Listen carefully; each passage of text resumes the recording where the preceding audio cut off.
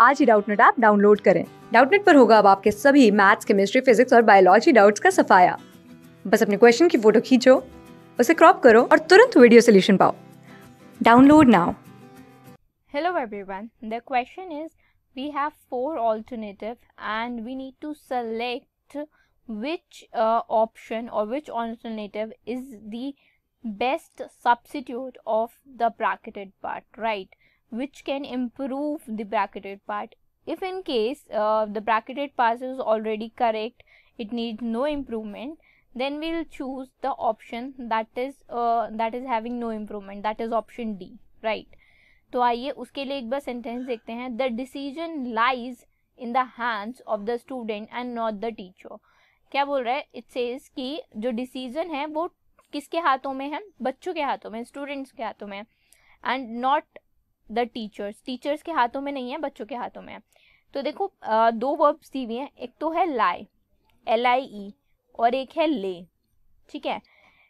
Lies जो लिखा है, वो है सिंगुलर दैट इज़ जब हम लाई के आगे एक एस लगा देते हैं तो ये सिंगुलर वर्ब बन जाती है राइट right? और अगर ऐसे ही हम बेस फॉर्म में लिखते हैं lie that is base form plus Pril form of the verb lie right so हम बोलेंगे डिसीज़न जो है, वो हमारा सिंगुलर नाउन है right decision is our singular noun तो after that we need singular verb तो सिंगुलर नाउन के बाद सिंगुलर वर्ब है, यानी कि ये सही है।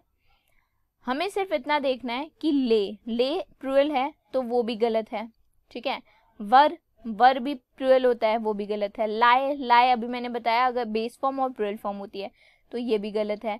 तो यानी कि जो हमारा आंसर है वो अगर हम ये भी, हमें ये भी ना पता हो कि लाए होगा या ले होगा तो भी हम ऑप्शन वाइज कह सकते हैं कि option D will be the correct क्योंकि बाकी सब में डिसीज़न सिंगुलर नाउन है और बाकी सब में तीनों ऑप्शन में प्रुअल वर्ब यूज़ हुए हैं राइट right. फिर भी हम एक बार दोनों का डिफरेंस देख लेते हैं आंसर तो हमें मिल गया that is our option D but एक बार हम डिफरेंस देख लेते हैं देखो लाए जो होता है एल आई ई ये एक वर्ब है जिसका uh, अगर आप पर्सन के लिए यूज़ करेंगे तो you can say to be in a position और to put yourself in a flat position अभी यहाँ पे क्या बोल रहा है? यहाँ पे बोल रहा है कि जो डिसीज़न uh, लेने की क्षमता है वो बच्चों के हाथों में है ठीक है?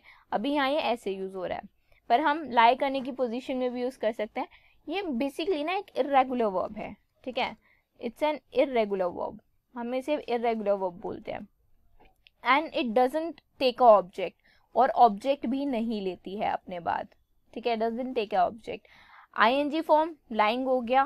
Past form that is past form of it is lay right ED लगा दोगे तो लेन बोल दोगे. Right right?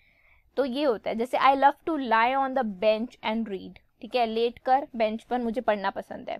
और जहाँ तक बात कर रहे ले की एल ए वाई ले ले का मतलब होता है to put something down carefully in a flat position ठीक है? It must have an object object होना चाहिए इसके बाद। It's a regular verb difference है इसमें दोनों में। It's a regular verb right it should be V E R B verb right right so you can say shall I lay the tray on the bed, right? So ये सब इसका difference हो गया दोनों वर्ब्स का। एक बार इसकी form देख लेते हैं। अगर मैं बोलूँ ले ठीक है? ले की बेस फॉर्म क्या होगी? ले की बेस फॉर्म ले ही होगी। ठीक है?